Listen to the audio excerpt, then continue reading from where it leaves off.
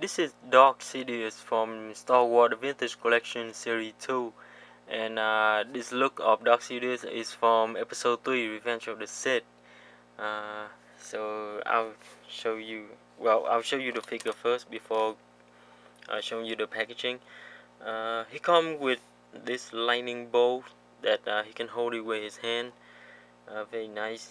His hood is made of plastic. Uh, and he wear a fur coat and down here his long skirt is made of real fabric. So that's very nice. And he comes with uh, his signature lightsaber. And the red is not really translucent. Uh, kind of like uh, half translucent.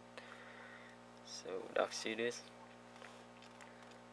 So, so here's the packaging. Uh, very nice little bubble enough to uh, contain the figure so you don't uh, well after you open him you won't have a lot of garbage. Um, yes there's a picture of Darth Sidious right there and there's a free uh, figure offer for the rocket firing Boba Fett so let me show you the back. And uh, yes this is a uh, brand new figure so that's why on the back it says first issue vintage Darth Sidious car in 2010 and uh, other figures from series 2 you might be interested in are the uh, Sand Trooper General Grievous Anakin Skywalker Obi-Wan and the Clone Trooper. And uh, Obi-Wan is probably the uh, peg warmer of this wave because I doubt that this figure will be picking up a lot. You will probably see this figure a lot more often on shelf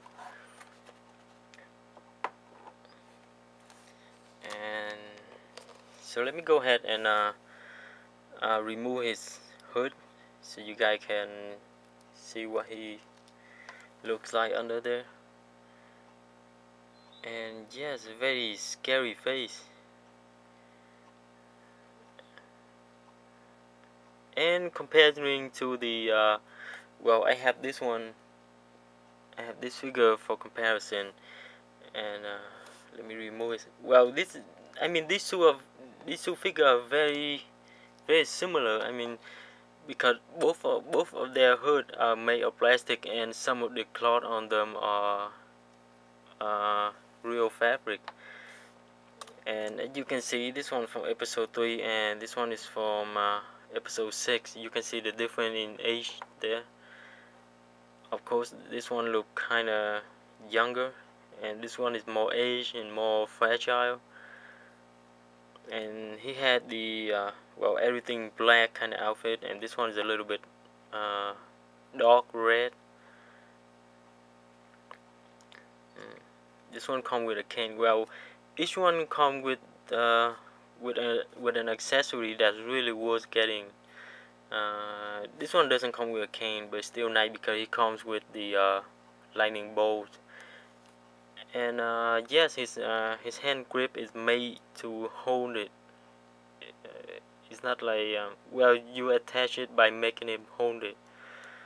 So uh, yes very nice. I think this is the nice the nicest accessory that Hasbro ever made. And if you have the Samuel Jackson Mace Windu well pose him with this guy. They're gonna they're gonna look awesome. And uh, so that's the uh, face scarf.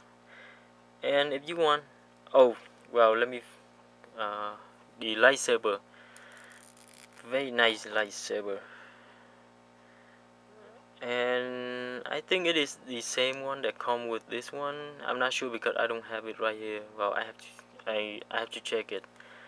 Uh, but still the hand grip uh, for for the lightsaber I mean this one is the best hand grip I have ever seen because he hold the uh, he hold his lightsaber perfectly and it fit very tightly inside his hand so that's very nice.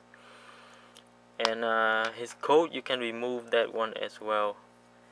Uh, you know what? I'm not gonna remove it because I did it one but uh, it it actually takes more time to put it back on than to take it off so I'm not gonna do that. And uh, yeah his uh, his uh, skirt is very nice and inside you can see uh, all the joint and you can see his legs. Uh, and uh, for articulation there's a ball joint in the head and uh, there's a well his his shoulder can move up and down can move forward and back. There's a swivel and hinge elbow swivel in the uh, in the forearm not the wrist. It's like inside. Uh, he has a swivel in the waist no on the torso. A uh, swivel in the hip can move forward and back. It doesn't go in and out. Uh, the uh, knee yes uh, there's a swivel and hinge knee swivel and hinge ankle. So he has the standard Star Wars uh, articulation so very nice. So just like I said I, I mean beside the lightning bolt I mean his hand grip and the way he holds his lightsaber is probably the best thing about this figure.